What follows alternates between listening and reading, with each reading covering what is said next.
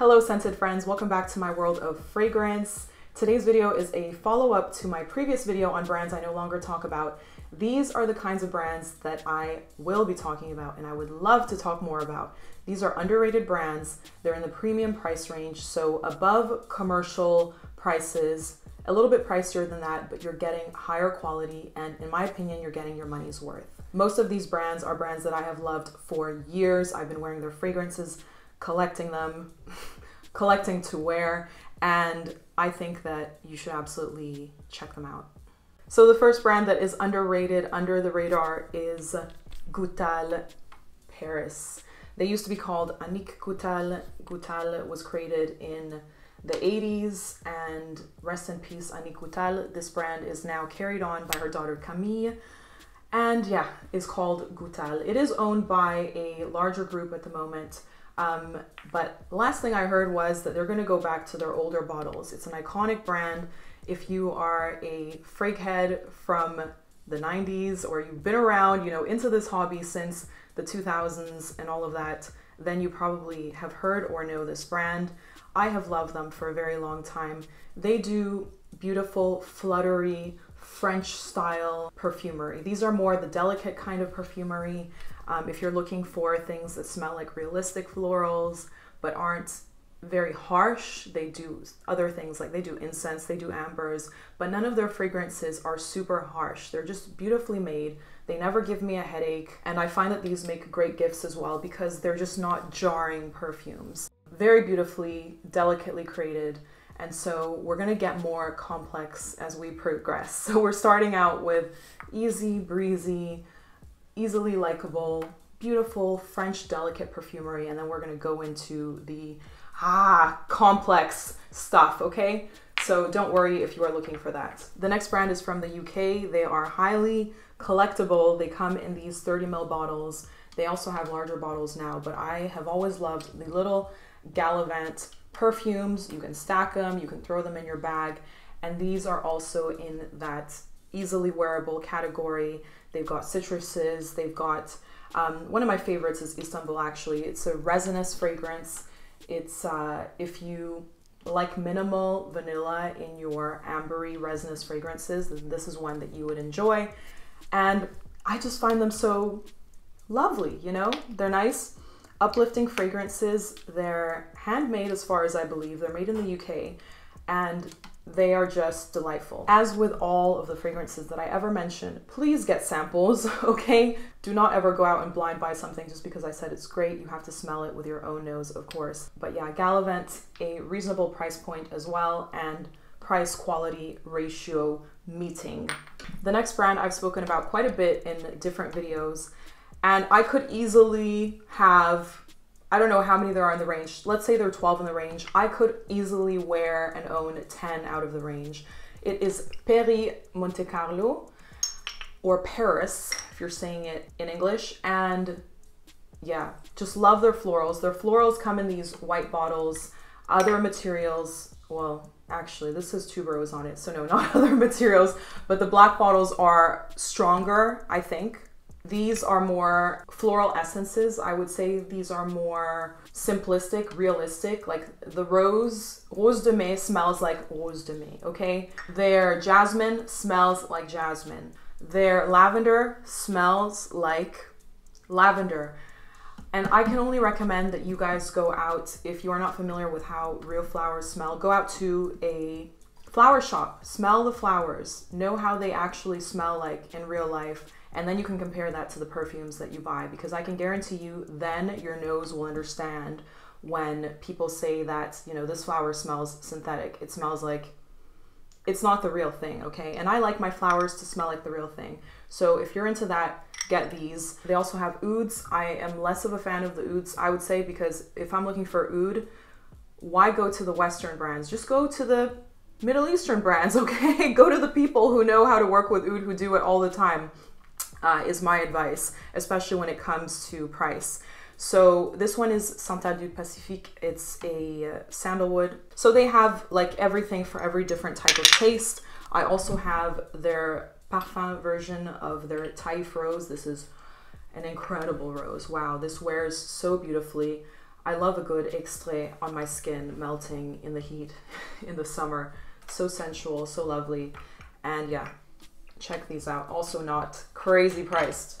I'm glad that I'm taking on this new direction because it's actually making me realize all of the amazing fragrances that I already had from brands that I kind of forgot. Oh yes, of course an extrait is going to cost you more than an EDP or an EDT. That is just normal, okay? This is much higher content of perfume oil and you will feel that. If you don't feel that, don't pay the price. Don't pay the extra price. Try it out for yourself. So the next brand I feel like kind of gets a little bit of attention because they are beast mode fragrances. They last, okay? These are Nicolai Parfumeur Créateur by Patricia de Nicolai, who is actually a Guerlain by blood. You know, that commercial brand Guerlain, which actually is one of the pioneering fragrance brands because that was their focus all along. Then they branched out into makeup and all those other things. Uh, but they are a perfume creator brand. And so Patricia de Nicolai has her brand called Nicolai. They do have a certain style. Once you have smelled a few of these, you can tell when you're smelling a Nicolai. It's like they have this underlying lavender quality going on. Comment if you agree. And they last, like, they project, okay? They project and they last. They're also well made, but she definitely has this base that she adds to all of her fragrances that make them ah, like they just they just cling and they last and they hang on to it. So if you like their style, that's an amazing thing. If you don't like their style, that could be a little bit obnoxious perhaps.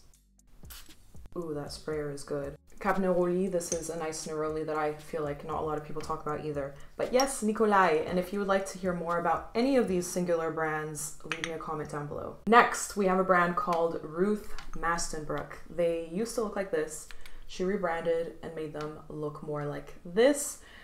Ruth Mastenbroek is a perfumer who has worked with loads of different brands and then created her own brand. And a lot of the awesome brands out there that you actually should look out for are brands that are named after a perfumer because these perfumers often have not been given very much creative freedom when they've worked for clients. They receive a brief, they're told, oh, we want you to make cotton candy or whatever, or make something that smells like this, or make something that smells like that. And so when they branch out and create their own brand, it's because they're like, ah, I'm tired of being constrained. Let me create my own thing. And this is where you see the perfumer really come to life, you know, show their true selves, their true artistry, what they've always wanted to create. And so Ruth Mastenbroek Signature is a really interesting, like it's kind of weird.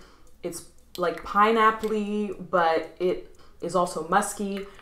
I was out sniffing with a friend, as I do. I find perfume virgins and I bring them out smelling perfumes with me. and this friend of mine is actually quite broy, so you know, like very gym, tan, girls kind of guy. And we went out, we smelled MFK, we smelled you know, lots of different other brands, luxury brands, Xerjoff, etc.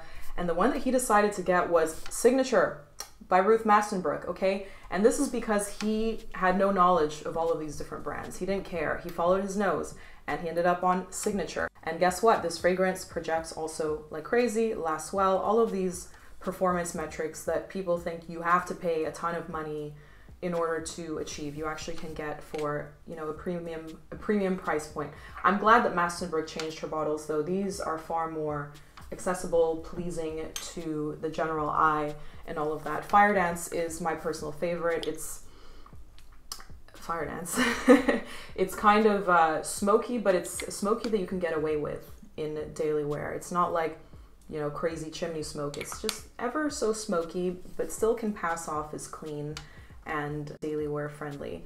So yeah, check these out. Ruth Mastenbroek. She does not have very many fragrances in her line, but all of them, you can tell that she's spent a lot of time on each and every one of them and really has poured her love into them. The next brand is a brand that is so dear to me that, yeah, when people speak negatively about this one, I kind of get a little bit hurt. Now, I'm okay. But the brand is Serge Lutens and they are Shiseido owned now. The prices have gone up. They have kind of tried to redirect and stuff, but it kind of makes me sad when I see these on like online discounters, like heavily discounted. It makes me happy because then I can buy them at a cheap price, but it makes me sad for the brand because I'm like, uh oh, what's going on with this brand? but I hope that they're going in a good direction. I've got loads of Serge, guys. And oftentimes when I'm walking through a department store and I try different things from newer brands and so on, I end back at the Serge counter and I try things again and it just restores my faith in perfumery. And I'm like, even though they're heading into this weird thing or, you know, the brand has been having I don't know, I can't speak too closely into detail about what's been going on with Serge, but the creativity is still there, okay? The latest one that I've added is Fils de Joie, which is a skank jasmine, okay? This is jasmine in your face with honey, slightly animalic. I mentioned this in my recent video on perfumes I've been loving. And being such a close recent release, it still doesn't disappoint for us, you know, perfume, deep perfume lovers, people looking for things that aren't, you know, gonna be loved by absolutely everyone, but will be adored by you when you find the one that you love. The higher price range Lutens bottles look like these, the Skyscraper Gratte-Ciel bottles, which are huge and weird. I don't have a problem with them though. I think they're kind of cool. They they do fit in with the aesthetic, if you ask me. But if you find these too pricey, you may be lucky to find them in the older format online somewhere. Do your own digging. But I I paid full price for these Gratte-Ciels, okay? And I was happy because I was still like, this is still a lot better than a lot of other things. So I was happy to pay it. So Lutens I've kind of placed in the middle when it comes to complexity, darkness, thickness of the fragrance, uh, versatility, all of that. Because you can find fragrances that are more versatile, you can find fragrances that are more deep, it depends on your taste. There are fragrances from the Lutens line that are actually recommended to people starting out, like Fleur d'Oranger is actually recommended, which is their orange blossom. Yeah, there's just something for everyone. They have a vetiver, they've got the smoke and fire, and they've got the delicates as well. So, really awesome brand. The next one is Histoires de Parfums. I have three of their fragrances. I get them in this style. They're meant to look like books on a shelf they do kind of have this dusty book like quality, some of them, especially their amber, which I used to have, was like this this gooey amber, but with this dusty book like quality as well. It's just really interesting stuff. Histoires de Parfums.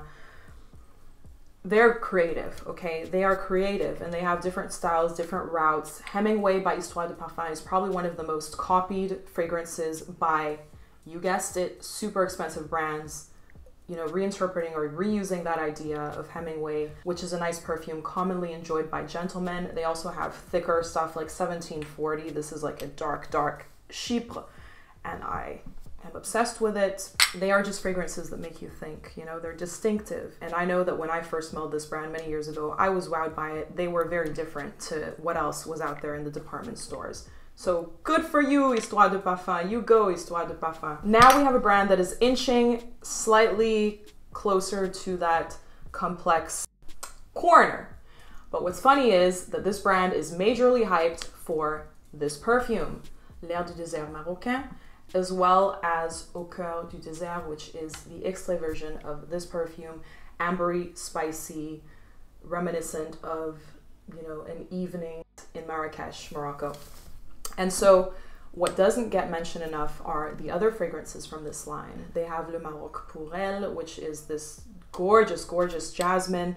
They have this line, which is the Tauerville Flash line, which are more affordable perfumes and they're focused on one thing. So their rose, their vanilla, their patchouli, their incense are just amazing great quality for the price. You know, I would say the price here is actually justifiable. Um, it's just that everybody else puts up their prices. And so, yeah, Rose Flash. This is like my favorite jammy rose, if that's your vibe. But Tauer, Tauer perfumes. You know that when a guy has a chemistry background and quit it all to get into perfumery, that he's gonna create something good, something magical. And so I love Tauer. They have kind of an edge to them, so definitely try them out. But it always depends on what you're used to to begin with. You know, when you try something new, it depends on what your nose has been accustomed to in all of these years of you smelling different things. If it's something new and, you know, weird to you, you might be like, oh, okay, off put by it. But definitely continue, okay? keep trying. I always go back to brands that I maybe didn't like at one point. So, Tauer. Love you, Andy. Now, another step into the complex. We're going to talk about Naomi Goodsir. I have a video on their full line. This is the one that I have, Bois d'Ascèse, my favorite smoky perfume. It's, it's meant to smell like a church that's burnt down. Very poetic, very amazing. They have Corpus Equus, which is a horse lover's dream. Their bottles are slightly better now. I think that she's kind of thickened the glass a little bit, but this is a poetic brand, okay? This is fragrance artistry to the max. I will say maybe 8 out of 10. No, 9 out of 10 when it comes to fragrance artistry at the forefront because they also aren't unwearable. You know what I mean? They also have beautiful fragrances that you actually can wear. So check out that video on Naomi Goodsir if you would like to know more about this line. So the next brand is again taking a larger stride into the complex, the deep, the thoughtful, the poetic, the artistry. We have Parfum d'Empire. And this brand is like one of the best brands that I've tried recently. This is the newest one out of all of these. The ones that I've spoken about up until this point, I have been loving for years and years. Parfum d'Empire, I have only tried this year, and Tabac Tabou is probably one of the best tobaccos that has ever been created, okay? For people who love a real tobacco, it also has this um, this daffodil underlying. It's, it's just, this is just a work of art. It's just like, oh, I'm melting, melting. Not one that I really wear that much in public because again, I'm saying we're striding into the artistry right now. Now it's just not so much about fragrance function, but more about fragrance experience. And so, yes, Parfum d'Empire. They also have some more easygoing. They've got like your sea like salty fragrances, marine like fragrances, you know what I mean? They've also got, you know, florals, things like that. But everything has a little bit of an edge. Everything has a little bit of artistic complexity. You know that there are layers to the perfumes that were difficult to create. And the materials here are also insane, like great materials. And then lastly, we have Eris, which was created by Barbara, who used to be a perfume journalist, I believe, for many years, was like a vintage fragrance collector, created this line with Antoine Lie, and these are bodacious fragrances, like real bodacious. And the one that I fell in love with was Ma Bête, which is another skank jasmine. I love a skank jasmine. I love a dirty floral.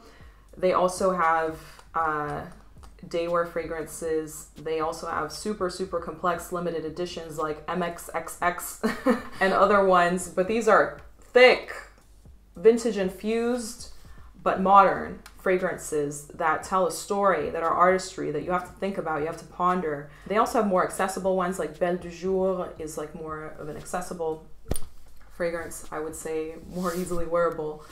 But Eris, like, do not not check out Eris if you're interested in artistry. And so thank you so much for watching today's video, guys. I hope that you enjoyed it. Please leave comments down below with other underrated brands, criminally underrated brands, not brands that already get exposure. We've had enough of those. Thank you so much for watching, and I will see you next time.